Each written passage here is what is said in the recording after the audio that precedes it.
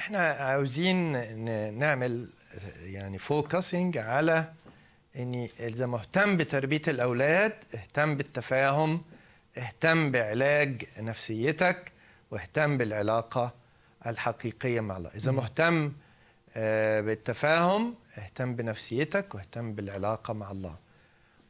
والاساس اللي هي يفرق إن ده بيت مسيحي أو غير مسيحي هو إن في علاقة حقيقية مع الله. مش عايزين نبقى زي آه، يلا نصلي نصلي نصوم نصوم. ما فيش عشرة مع الله. حياة. ما فيش عشرة. آه. يعني أبسط حاجة لو أنا ليا علاقة وعرفت آه، ربنا بصدق هكتشف قد إيه زي ما بنقول في صلوات السواعي صلوات الأجبية إنه جزيل التحنن. يعني إيه؟ يعني لما بيغفر الخطية لا يعود يذكرها مم. في قديس آه، جميل آه، اسمه الشيخ الروحاني آه، القديس يوحنا سابا قال تعبير التوبة تجعل الزناة بتوليين. إن اصدق إن ربنا رحمني يجعلني كأن الخطية لم تحدث. وهذا هو التبرير. فأنا بشجع إخواتي المستمعين المشاهدين آه، ابتدي من الأساس. تأكد أن في علاقة العهد. واعمل زي آه، يعني أنا كثيرا ما أذكر جملة قالتها عروس النشيد. عروس النشيد قالت أنا لحبيبي. أنا أعطي حياتي لحبيبي. عايز تبتدي عشرة مع الله. اعطي حياتك للمسيح. وتبدأ علاقة الحب. أصله دفع ديوني. أيوه.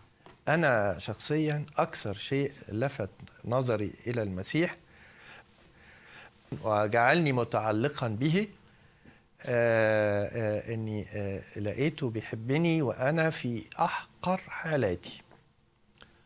ولا يهتم ب- بفداحة الخطية لكن يهتم ب عايز تقوم يا أميل؟ هات إيدك قوم. هذا الإله الذي يقبلني في أوحش حالاتي يستحق أن يحب. فخلينا نفتكر عروس النشيد نشيد الأنشاد قال ثلاث مرات تقول أنا لحبيبي. ملك حبيبي. علاقة حب. أنا أعطي حياتي مم. أنا أسلمك حياتي. أنا أقبلك سيدا ومخلصا.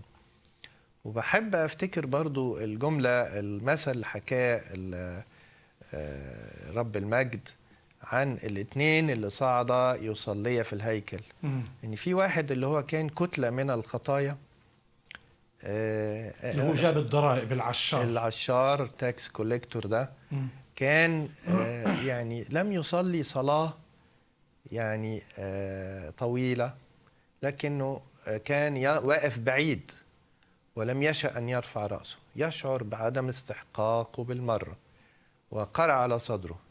بس الغريب أن هذه الكلمات الثلاث ارحمني أنا الخاطي. جعلت منه رجلا مبررا.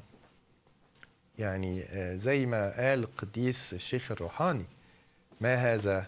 كيف يصير إلى آه، شيخا؟ آه، كيف يصير بارا هو طلع من الهيكل على البيت. صدق مراحم الله. أكيد. زي ما قال قديس بولس إذ قد تبررنا بالإيمان.